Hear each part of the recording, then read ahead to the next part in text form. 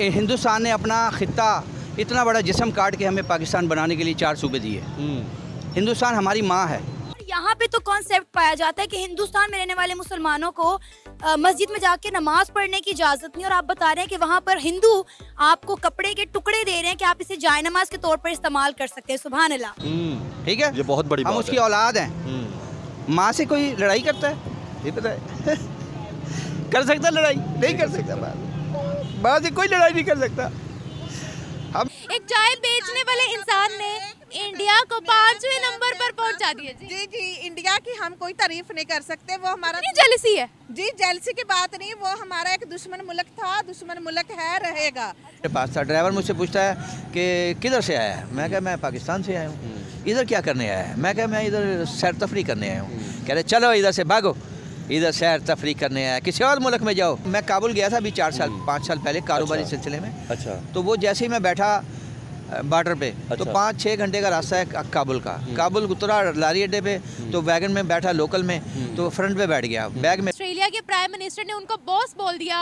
अमेर, वो अमेरिका जो बाइडन जो बाइडन ने उनको सैल्यूट बोल दिया। जो मर्ज़ी बोले इंसान की अपनी भी तो एक कॉमन सेंस है ना। योगी जी मैं आपके हाथ जोड़ के आपसे आपका शुक्रिया अदा करता हूँ। मैं आपने गवर्नमेंट ऑफ़ यूपी ने उनको मकान बना के दिया है। उसने कहा चाचा इधर से चले जाओ तुमको कोई गोली मार देगा। मैं इंडिया गया हूँ। कभी उन्होंने ये नहीं कहा कि चलो इधर से भागो चलो इधर से निकलो। 200 मरतबा 200 विज़िट किए हैं मैंने इंडिया दिल्ली पाकिस्तान के। सही मुझे बड़ा बड़ा तजर्बा है। मैं अब मीडिया पे बता नहीं सकता। गजवा हिंद की बात कर रहे हो तो क्या कहते हैं कि हम अपने भाइयों के साथ ही गजवा हिंद की बात कर रहे होते हैं? नमस्कार दोस्तों स्वागत है आपका एक बार फिर से।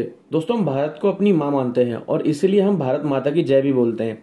लेकिन पाकिस्तान में भी कुछ ऐसे लोग हैं जो आज भी खुलकर भारत को अपनी माँ मानते हैं। आज की इस वीडियो में हम आपको दिखाएँगे कि पाकिस्तान के लोग भारत के बारे में क्या सोचते हैं। मेरा दावा है आपने ऐसी वीडियो पहले कभी नहीं देखी होगी। दोस्तों भारत के बारे में बुरा वही बोल सकता है जो हमारी संस्कृति को नहीं जानता। कहते हैं ना हर जगह अच्छे और बुरे लोग दोनों पाए जाते हैं। चलिए देखते हैं पाकिस्तान के कुछ अच्छे लोग भारत के बारे में क्या सोचते हैं। दोस्तों मैं चाहता हूँ आप भी कमेंट में भारत माता की जय ज़रूर लिखें और वीडियो पसंद आए तो लाइक ज़रूर करें। यहाँ पे गरीबों का क्या हाल है? अब यहाँ पे गरीबों का यहाँ गरीब तो खुदकशी कर रहा है। खुद आयशी कर रहे हैं ये सारे। खुद डा- गरीब का पता ही नहीं है गरीब का हाल आप क्या है? मुझे एक बात बताएँ आप मुझे एक बात बताएँ जिस तरह आपने कहा कि वहाँ पे मुसलमान लोग आपके सक्के मामू के लिए उन्होंने बना बहुत के दिया। रिश्तेदार हैं पूरे इंडिया में मेरे रिश्तेदार हैं। तो अब ये बताएँ कि हमारे यहाँ पे सिख या हिंदू रह रहे हैं क्या हमने उनके लिए किया सिंध के अंदर बलूचिस्तान के अंदर लोग रो रहे हैं कुछ नहीं वो यार अकलियत तो बात तो दूसरी है या मुसलमान रो रहा है? मैं रो रहा हूँ आपके सामने। मेरे आँसू नहीं कर रहे हैं। हाँ, चाइना के अंदर मुसलमान वहाँ हमारे तबलीगी जमात के बंदे गए एक भाई को अंदर कर दिया दूसरे को मार दिया। उसकी चाइना के- हमने रायगंज में दफनाई। ये चाइना के अंदर हाल ये चाइना के अंदर। क्या आप अपना- कहते हैं तबलीग नहीं करनी है पाकिस्तान की। मुसलमानों को मारा जा रहा है। मुसलमानों को तो जुल्म हो रहा है। कुरान नहीं पढ़ सकते मीनार नहीं बना सकते मीनार नहीं बना सकते। मस्जिदें बंद हैं ताले लगे हुए हैं इंडिया में। अरब करोड़ों मस्जिदें हैं। सब में सब में इबादतें भी हो रही हैं नमाज़ें भी पढ़ी जा रही हैं। और फिर सब- सबसे बड़ी बात मैं पाकिस्तानी अवाम को ये बताना चाहता हूँ मैं आज ये ये पासपोर्ट मैंने ये रिन्यू करवाना है ये दिखा दे। मैंने रिन्यू रिन्यू करवा के जो है मैंने चले जाना है। मैं खुद डिसाइड हो गया हूँ यहाँ से नहीं नहीं रहा जाता। आज आज इंडिया खोले हम दोबारा वापस चले जाएँगे। Oh हम दोबारा वापस जाने के लिए तैयार हैं अपने बुज़ुर्गों की कब्रों पे वहाँ मज़ारों पे वहाँ रह लेंगे। वहाँ सुकून है मुसलमान वहाँ सुकून से है। यहाँ बेसुकून है यहाँ तो नींद नहीं आती लोग लोग तो बच्चों को मार के और खुद खुद खुदकशी करके मर जा रहे हैं। मरे जा रहे हैं कोई एक्शन ही नहीं लेता। इंडिया में दिल्ली में इस वक्त मेरे रिश्तेदार हैं मैंने उन्हें फ़ोन किया। मैं कहा पिछले साल मैं कहा तुम तो मैं कहा पाकिस्तान मत आना अभी क्योंकि वहाँ से तो वीज़ा मिल जाता है इंडियन को। वो मुसलमान हैं उनको वीज़ा दे देती पाकिस्तानी को हम मंगवा लेते हैं उन्हें बुलवा लेते हैं। मैं कहा "तो यहाँ ना आना गर्मी बहुत है। मैं कहा दिल्ली में क्या हाल है? दिल्ली में तो ज़्यादा होगी। कहेंगे हमें तो पता भी नहीं चलता। मैं कहा क्यों? कहेंगे हम तो हमारे तो हर कमरे में एसी लगा हुआ है। मैं कहा एसी कैसे लगा हुआ है? कहेंगे यहाँ तो 300 यूनिट फ्री हैं। वहाँ हमारा राशन बना हुआ है गरीबों का। राशन बना हुआ है दस रुपये किलो चावल पाँच रुपये के लिए चीनी है जी?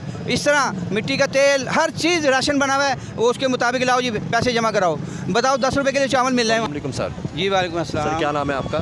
जी मेरा नाम सैयद शमशाद हुसैन मैं लाहौर से मेरा ताल्लुक लाहौर से तल्लुक़ है। सर मुझे ये बताएँ आज हम बात कर रहे हैं हिंदुस्तान के और पाकिस्तान के रिलेशन के ऊपर कि आज भी हमारे पार्लियामेंटों के अंदर ये नारे लगाए जाते हैं कि मोदी का जो यार है वो गद्दार है। यानी कि एक मतलब नेगेटिव मैसेज जाता है। उसके बाद अगर बात की जाए हमारा आज मतलब ट्वेंटी थर्ड मार्च था ठीक है? रिपब्लिक डे था। तो सर आज भी हमने कोई मेड इन पाकिस्तान नहीं बनाया। कोई हमारे मुल्क के अंदर आया नहीं तो क्या कहना चाहेंगे सर इसके ऊपर कि जब तक रिलेशन बेहतर नहीं हुई क्या तरक्की हो सकती है हमारी? सर देखें बात यह है ईमानदारी की बात करनी ईमानदारी की बात बिल्कुल। पाकिस्तान हिंदुस्तान ने अपना ख़त्ता इतना बड़ा जिसम काट के हमें पाकिस्तान बनाने के लिए चार सूबे दिए। हिंदुस्तान हमारी माँ है। ठीक है? हम्म। ये बहुत बड़ी हम उसकी है। औलाद हैं। हम्म। माँ से कोई लड़ाई करता है? ये पता है। कर सकता लड़ाई? नहीं कर सकता माँ। माँ से कोई लड़ाई नहीं कर सकता। हम हमारे आधे से ज़्यादा रिश्तेदार इंडिया में है। हम प्रदेश में। तो हमारा प्लान बना था कि हम लोग जाते हैं वहाँ पे विज़िट करते हैं। तो हमारा पर्पस था बस विज़िट करने के लिए। तो 2000 बैक इन 2018 हम लोग ने अप्लाई किया था फॉर टूरिस्ट वीज़ा जो कि हमारे टूरिस्ट वीज़ा तो अलाउ नहीं किया तो उन्होंने विज़िट वीज़ा दिया था जो कि हमें अलॉट हुआ था कि थ्री मंथ्स के लिए।